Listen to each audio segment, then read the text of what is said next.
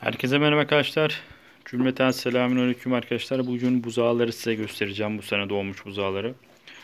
Bayağıdır uzun zamandır paylaşım yapmıyorum buzağlarla ilgili. Biraz da arkadaşlar nazardan dolayı lütfen e, videoyu izlemeden önce bir maşallah demeyi yazmayı unutmayalım. Gerçekten buzağlara nazar değme olayı oldukça fazla oluyor. E, bundan dolayı arkadaşlar paylaşmak da aslında çok fazla istemiyorum ama istek üzerine artık paylaşıyorum. Ee, bugün arkadaşlar 7 tane buzağı size göstereceğim. Anneleriyle beraber hangisi hangisinin annesi. Bunun hakkında konuşacağız. Ee, 4 tane erkek var, 3 tane dişi var. Kalitelerini tartışacağız, konuşacağız. İlk bununla başlayalım. Bu arada ortam biraz karanlık çünkü lambada e, arıza var. E, biraz karanlık olacak kusura bakmayın. İlk olarak arkadaşlar bu buzağıyla konuşalım. Bu buzağı arkadaşlar Mondofonla simental menezi bir olan inek var. Düve. Hatta onun bir tane doğum videosu vardı kanalda. Zor doğum yaptırmıştık. O inekten çıkma buzağı arkadaşlar. Aşılama sonucu çıkmış bir buzağı. İstediğim kalitede bir hayvan. Dişi bir buzağı. Arka but yapılarına bakarsanız etçil bir hayvan. Ete baskın. Süt ise büyük ihtimal bundan fazla süt çıkmaz. Zaten arka butları gördüğünüz arkadaşlar anlıyorsunuz. Arka butlar geniş. Karın çok fazla işkembeli değil. E, tip zaten simental. Simental melezi ama tam orijinal değil. Ama orijinaline çok yakın bir hayvan arkadaşlar. Yani istediğim aslında kalitedeki hayvanlardan biri bu şekilde olacak.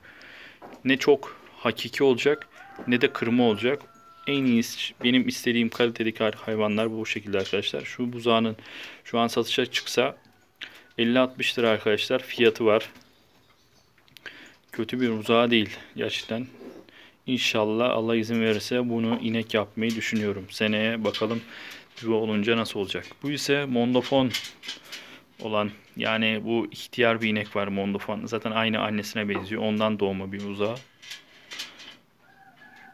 aslında kötü bir buzağı değil ama etçilden ziyade süte baskın bir hayvan.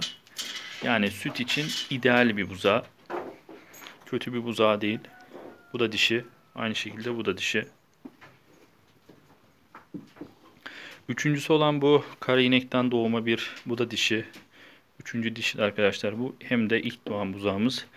Bu kötü bir buzağı değil ama e, simentel olarak Mondofonla simentelin karışımı olmuş olan bir hayvan bu. Biz kara ineğe hangi aşı yatarsak atalım muhakkak mondofon melezi çıkartıyor. Onun için tam geni aktaramıyor. Kötü bir hayvan değil ama e, istediğim tam düzeyde de değil. Yani aslında bundan inek olur mu? Olur. Ama bundan çıkacak buzağı da çok iyi bir buzağı çıkartır mı? Onu bilemem. Biraz da gen aktarımıyla alakalı arkadaşlar. Bir sonraki buzağı ise arkadaşlar bu buzağı benim birinci favorimdeki hayvan bu. Anadan doğma kabak bir dana. Erkek dana. Ee, bunun annesi simental olan inek. Bazı buzağlar arkadaşlar e, kabak olmuyor. Köreltme yapıyorlar ama bu anadan kabak olduğu için e, gen aktarımındaki genleri de e, kabak buzağlar çıkartabilir. Bunun için bunu inşallah seneye damızlık olarak kullanacağız. Arka but yapısına baktığımızda zaten ete baskın bir hayvan olduğunu görüyoruz. Sırt geniş, but geniş. Bacaklar biraz kısa fakat e, çok fazla kısa kalmaz. Çok da aşırı büyümeyecek bir cinsten bir hayvan. Yani attığımız aşıyı aslında çıkartmış. E, güzel kaliteli bir hayvan. Aslında benim aradığım danalar bunlar. Ne çok gerçek tam saf ne de e, kırma. Orta derede, derecede ama kaliteli bir hayvan arkadaşlar. Yani bu hayvan şu an 50-60 lira fiyatı var. Piyasadan almaya kalkarsanız. İnşallah bunu seneye damızlık olarak kullanabileceğiz. Ee, seneye zaten kurban olmuyor. Bir dahaki seneye oluyor. Bir dahaki seneye de arkadaşlar kurbana gidecek. 400 kiloyu rahat atar. Ete baskın bir hayvan. Bir diğeri de bu.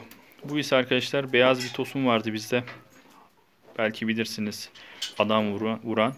Ondan olma bir dana. Zaten aynı babasına benziyor arkadaşlar. Yerli bir hayvan öyle söyleyeyim. Kırma. simental desen kırması değil. Yerli tam yerli de değil. Aslında normal bir hayvan arkadaşlar. Biraz da şeye de benziyor. Holstein kırmalarına da benziyor ama e, annesi simental melezi. Babası arkadaşlar o da aynı bu renkteydi. Böyle bir buzağı çıktı. İnşallah bu da sağlıklı bir şekilde büyür. Bu da arkadaşlar erkek bu buzağı.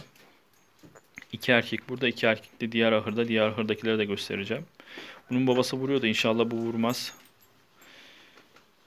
Seneye göreceğiz. Bakalım seneye nasıl olacak bu danalar inşallah. Şimdi diğer ahıra gidelim. Diğer ahıra bakalım. Diğer ahırda iki tane daha dana var. İki, onlar da erkek. Onların da çekimlerini yapalım. Bakalım. Ee, bir değerlendirme yapalım.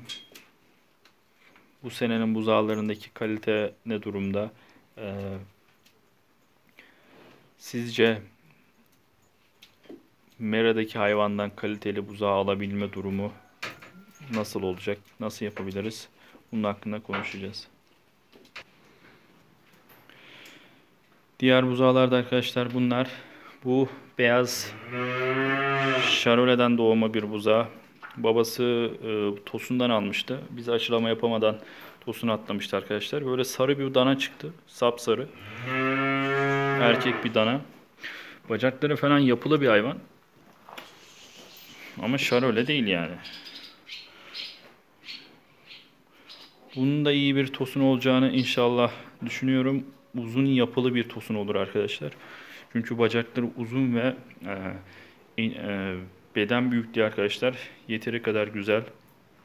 Bu arada en son doğan boğa, şey, buzağı bu buzağı arkadaşlar.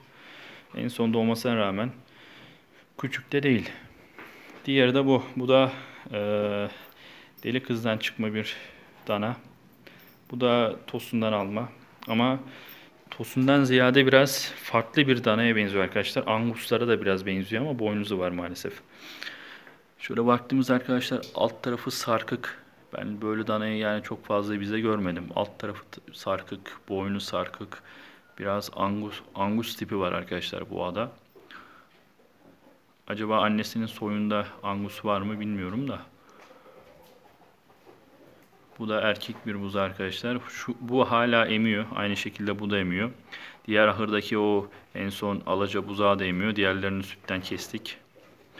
Bunu annesinin altına salıyoruz. Maalesef annesinden ayıramadık. Annesi yoksa eve kaçıyor, durmuyor.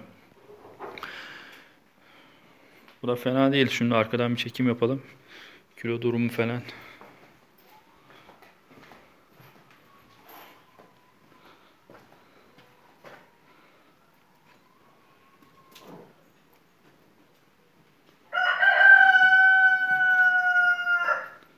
Böyle güzel şirin bir buzağı inşallah.